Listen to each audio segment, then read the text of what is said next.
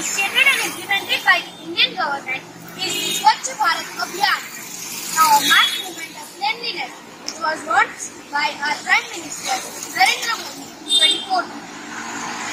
Under this movement, the most immediate goal of saving our nature that I believe is by the solid and liquid waste management.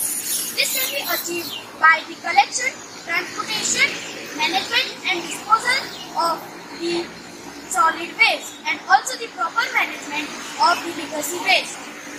This is the Pirana dump site wherein the solid waste of the Ahmedabad city is dumped up to mountains. The government has initiated the biomining process in which the solid waste mounted here is sealed and the metals, RDF and the soil waste are separated with the help of the machines. The metal is reused, RDF is used to make fuels or it is incinerated and the soil waste are used for making fertilizers. This also helps in reducing air, land and groundwater pollution.